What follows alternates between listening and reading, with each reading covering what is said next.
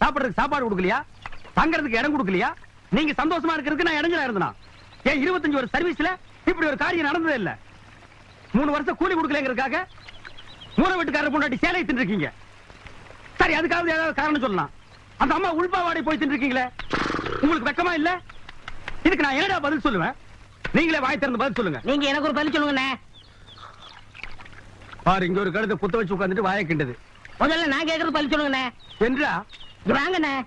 அட என்றா? அட வாங்க. அது என்ன கூப்பிட்ட? அண்ணே ஒரு சின்ன சந்தேகம். அட என்றா அழிச்சு வாயா? தண்ணி எப்படிண்ணே உண்டாகுது? அது மாறதுதான் உண்டாகுது. வானத்துல இருந்து எங்க வருது? மலை மேல வருது. மலையில இருந்து எங்க வருது? பள்ளத்துக்கு வருது. பள்ளத்துல இருந்து எங்க போகுது? ஆத்துக்கு போகுது. ஆத்துல இருந்து எங்க போகுது? கடலுக்கு போகுது. கடலுக்கு போகுதுல. இத புடிங்க. இன்னைக்கு இதுல. இதே தண்ணி தானே கடலுக்கு போகுது. அது என்ன உப்பு கறிக்கு அகத்திய முனிவர் தீர்த்தம் கொடுத்த மாதிரி கொடுத்துட்டு அலும்பா நீ பண்ற? ஆள விடுறா. பதில் சொல்லிட்டு போனேன் நான் பதில் சொல்ல முடியாது? கடல் தண்ணியா உப்பு கறிக்கனா நான் பதில் சொல்ல முடியாது? சொல்லிட்டு போனேன் நான் பதில் சொல்றேன் கடல் தண்ணியா உப்பு கறிக்கனா. இங்க இருந்து போக டேய், முடியாது பதில். சொல்லிட்டு போனேன் சொல்லியா? ஐயோ! இந்த ஆறு கடலுக்கு தான் போகுது.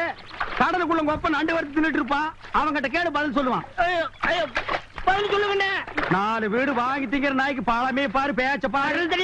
சொல்ல பாரு. ஐயோ. ஏகத்தாளத்தை பாரு. லோலாய்த்தனத்தை பாரு. பாந்தனா கூறு கிளாட்டி மிதிச்சு போடுவேன்?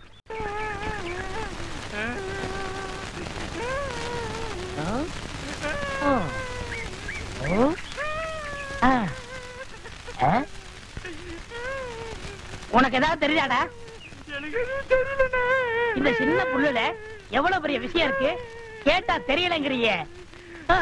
இந்த ஊர்ல என்ன தவிர வேற எவனுக்குமே அறிவில்ல. உன்னையா தேத்தலான்னு பார்த்தா நீ அழுதுகிட்டு உட்காந்துருக்கேன் மட சாம்பிராணி. தெரியுதாடா? ஏன்டா என்ன குடிச்ச நாய் மாதிரி அழுகுற? சொல்றா. அடங்க ஒக்க நீ மக்கா அழுதா விட்டுவனா சொல்றா. டேய் டேய் டேய் குழந்தை பையா? நீ அங்க தடி கொடுத்துட்டான்னு ஊரே பேசிக்கிறாங்க. இங்க குப்பர் படுத்துட்டு என்ன பண்ற? அவர் தடி குந்தல் நான் மாட்டிக்கிட்டேன். அண்ணே உட்காருங்க அண்ணே புல்லு தடிக்க விட்டு பயில்வான்லாம் விழுதான்னு சொன்னாங்களே அந்த காரணத்தை கண்டுபிடிச்சிட்டேன். என்றா? இது என்னண்ணே புல்லு. இப்ப? இப்பவும் புல்லுதான் இப்ப? நீயே சொல்றா. கோட்ரு. இப்ப பாருங்கண்ணே இது மறுபடியும் புல்லுண்ணே. இது மறுபடியும் ஆப்புண்ணே. இது மறுபடியும் கோட்டுண்ணே இது. இது என்னன்னு சொன்ன? முழு புல்லுண்ணே. முழு புல்லு ஆ இப்ப தமிழ்ல நான் என்னன்னு விவரமா சொல்லட்டுமா? இது அரை அரை, இப்போ காலு. காலு. வேட்டிங்க? ஒன்றரை வேட்டியா? ஆமாங்க. அவங்கிட்ட வேட்டி அவுத்து கொடுத்த? அவர் ஆராய்ச்சி பண்றாருங்க அதனால தாங்க அவுத்து கொடுத்தேன். ஆமா அவர் பெருசா அணுகுண்டு ஆராய்ச்சி பண்ண போறாரு. இவர் வேட்டி அவுத்து கொடுத்திருக்காரு. சித்தங்கூர நான் வரலன்னா அவன் ஆராய்ச்சி முத்தி போய் உன் கோமண தூரி இருப்பான். உன் நிலைமை என்ன ஆகிருக்கும் ஆளுகளையும் மூஞ்சிகளையும் பாடுறான் ஐயோ என்ற வேட்டிங்க? ஒன்றரை வேட்டினா மூட்டை ஆத்து வரையும் கொண்டு வந்து கொடுத்துட்டு ஒன்னே கால் வேட்டி வாங்கிட்டு போடா. ஏய் இப்ப என்ன பண்ண? அழுதுங்க. ஏன்? இப்படி எப்படிங்க ஆத்து வரைக்கும் வர்றது? இப்படியே ஆத்து வரைக்கும் வரலன்னா அப்படியே போய் ஆத்து வரைக்கும் வா. வாடா. என்ன? எனக்கு ஒரு சந்தேகம். ஆரம்பிச்சிட்டியா? தலையில முளைச்சா தலைமுடின்னு சொல்றாங்க. கையில முளைச்சா கை முடின்னு சொல்றாங்க. கால்ல முளைச்சா கால் முடின்னு சொல்றாங்க. நெஞ்சில முளைச்சா சரி அடுத்து நீ என்ன கேட்க போறங்கிறது எனக்கு தெரியும். கேட்ட மகனை அசிங்க அசிங்கமா பேசி போடுவேன். அதுல என்ன? முகத்துல முளைச்சா முக முடின்னு தானே சொல்லணும். ஏன் தாடிக்கிறாங்க உன்னை இந்த மாதிரி எல்லாம் பேச சொல்லி யாரா சொல்லி கொடுக்குறா? ஏன் மூளை என்ன? மூளை என்ன முதுகுலயே வச்சிருக்க யாருடைய யாரு டி இல்ல யாரு டாடா பிச்சு போடுவேன் கால வரைச்சு போடுவேன் ஏண்டி உனக்கு என்ன தைரியம் இருந்தா? என்ற காட்டுக்குள்ள பட்டி போட்டு பட்டி போட்ட ஆடு இல்லையே குட்டி போட்ட ஆடல மேய்ச்சிட்டு இருக்குது. ஏலே இந்த எகத்தாளம் எல்லாம் என்ற கிட்ட வச்சுக்காத. பல்லெல்லாம் அதோ, போயிடும். பல்ல பத்தி மட்டும் நீ பேசாத. என்னமோ பெருசா நல்ல பல்லு வச்சிருக்கிற மாதிரி? என்ற மாதிரி ஒரு நாள் சிரிக்க முடியுமாத்தா எங்க நீ சிரி? ஏண்டா? எம்பட செருப்பு கண்ணா? ஐயோ காட்டாடி பல்லு. ஆத்தா குழந்தை பயப்படுது வாய மூடாத்தா உன்னால மூடவும் முடியாது. சத்தியமா இனிமே உன்னை நான் சிரிக்க சொல்லவே மாட்டாத்தா ஏன் ஆத்தா பல்லு அப்படி இருக்கு? என்னமா ஆத்தா பல்ல நான் அப்படி பண்ண மாதிரி என்கிட்ட கேள்வி கேக்குற. வாய வச்சு சும்மா இருந்தா தானே? தீபாவளி நாள் அதுமா போய் அவங்ககிட்ட எகத்தாளம் பேசியிருக்கு. பட்டாசரத்து கொளுத்தி அவன் ஆத்தா வாயில போட்டான் அன்னைக்கு செதற பல்லு தான் இது. இருகானுத இந்த வருஷம் பட்டாசு கொளுத்தி ஒன்றரை நாயில அப்ப என் வாயில வேண்டாம் பாரு இவன் வாயில போடு. இருங்கடா. அரியன் கோண காலத்து இருக்கே. ஆள் ஆளுக்கு எம்பட காட்ட சொந்தம் கொண்டாடுறீங்களா? சொந்தம் என்றா சொல்றா? இது வேறயா? அந்த ஆடு மேய்க்கிற புள்ள உனக்கு மருமகளா வர போகுதோ ஏன்டா இந்த கத்து கத்துற? எனக்கு மருமகன் என்ன சொல்ற அடியே! நான் மட்டும் உனக்கு மாமியார வாச்சன்னா அந்த வெடுக்கு வெடுக்கு நாட்டை இடுப்ப நம்ம கழட்டி ஒட்டியான பண்ணி போட்டு போய் சாக்குறது. கேட்டுச்சா? உன் இடுப்பெலும்பு ஒடிச்சு ஒட்டியானமா பண்ணி போட்டுக்குமா?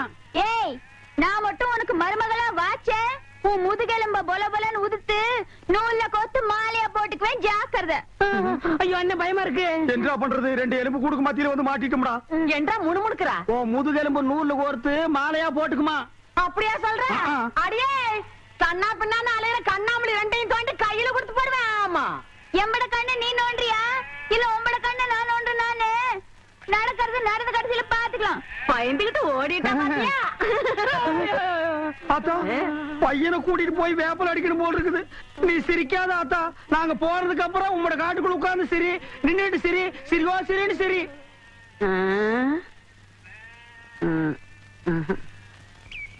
செத்துக்கிட்டு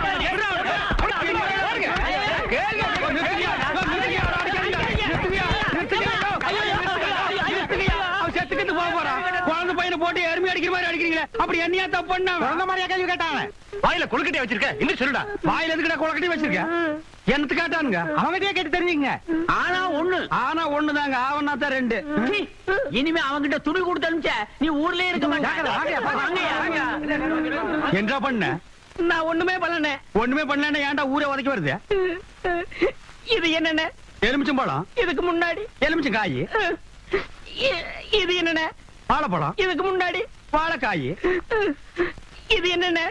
மாம்பழம். இதுக்கு முன்னாடி மாங்காய். இது என்னென்ன? தேங்காய். இதுக்கு முன்னாடி. இத தன்னை கேட்டேன். இதுக்கு போட்டு அடிக்கிறாங்க அறிவு கெட்டவனுங்க. எவ்வளவு பெரிய ஒரு விஷயத்தை கேட்டிருக்க? இதுக்கு போய் உதைக்கிறாங்களே. அதாவது கழுது மேய்க்கிற பையனுக்கு இப்படி ஒரு அறிவான்னு உன் மேல எல்லாருக்கும் பொறாமடா?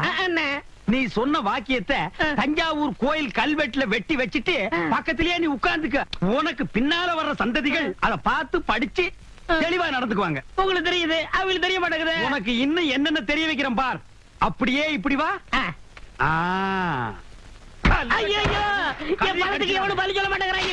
இனிமே ஏதாவது எடக்கு புடக்கா பேசி ஜனங்களோட வந்த மகனை சுடுபொட்டி வச்சு தோலை வெள்ளையாக்கிடுவேன்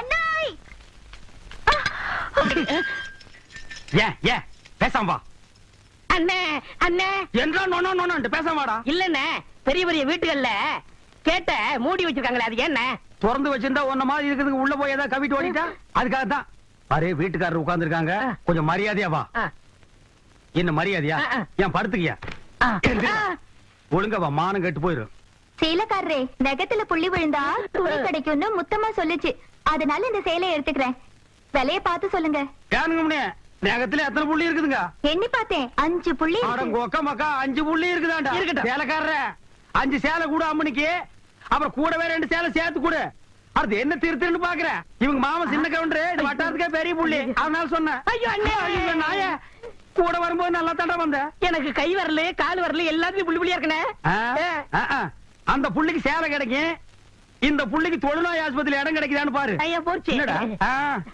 ஏய் வடிவு. என்னடி பண்ணிட்டு இருக்க? என்னைய எங்க வேடிக்கை பார்த்துட்டு உன்னை விட பெருசு வந்துச்சு. நீ ஓடி போயிரு. ஐயோ என்னடி இதெல்லாம்? திருவிழாக்கு கட்டிக்கிறதுக்கு ஒரு சேலை எடுத்தேன் சித்தி. எடுப்படி எடுப்பு நமக்கு சேர வேண்டிய சொத்தை ஊருக்காரங்களுக்கு கொடுத்துட்டு குமால போடுற உங்க மாமன் அத கொண்டாடுறதுக்கு உனக்கு புது சேலை கேக்குதா.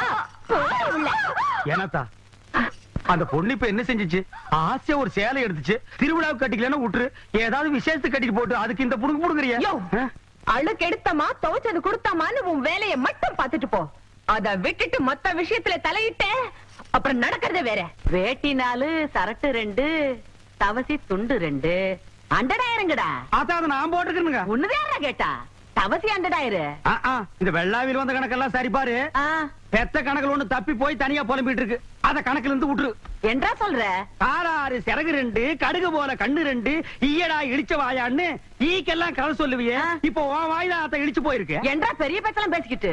கிட்டுச்சனா கண்ணாமணி திரும்பி போகும். ஏன்டா பல்லு ரெண்டு எடுப்பா இருக்கிறது மட்டும் ஆளாளுக்கு பேசுவீங்களா? என்னது ரெண்டு பல்லா. எல்லா பல்லும் தான் மாம்பட்டி மாதிரி நீட்டிட்டு நிக்குது. சரிதான் இருக்கிக்கிட்டு விஷயத்த சொல்லி காட்சி போடுவேன். இந்த பல்லுல கடிக்கிறது ஒண்ணுதான் கடப்பாரில கிணறு வெட்டுறது ஒண்ணுதான். என்றா இங்க முணுமுணுப்பு? உன் பேத்தி கதையை சொல்ல வந்தனாத்தா ஏண்டா அவளுக்கு என்ன? தாவடி போட்டுட்டு இருந்த புள்ள சேலை கட்டிக்கு ஆசைப்பட்டு சேலைக்காரனை கூப்பிட்டு இருக்கு சக்கரை கவுண்டர் வெப்பாட்டி இல்ல.